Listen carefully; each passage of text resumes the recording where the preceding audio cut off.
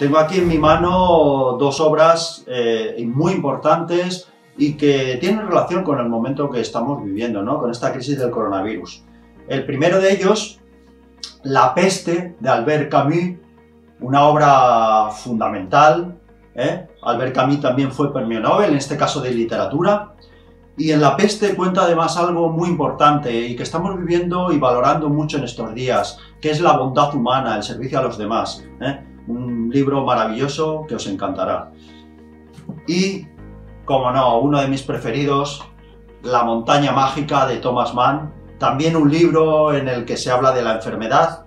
En este caso, nuestro personaje principal vive recluido en la montaña de Davos, en Suiza, eh, para intentar curar una, enfermedad.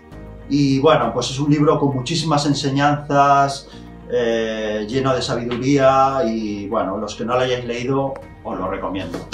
Y como es posible que estos cinco libros que os he recomendado no los tengáis a mano en estos momentos, eh, os voy a recomendar un libro que se puede empezar a leer por el principio o podéis leer abriendo cualquiera de sus páginas y leyendo al azar porque realmente aquí está todo.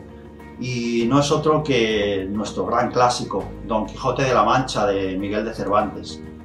Y bueno, ya para, terminar, solo quiero desearos pues, que estéis pasando lo mejor posible estos momentos tan, tan duros para, todo, para toda la sociedad, que os quedéis en casa, que seáis conscientes de la importancia que tiene eh, para parar esta, esta crisis y que bueno, pues que, hagáis todo lo posible y todo lo que esté en vuestras manos para, para que intentamos salir con fuerza de esta situación.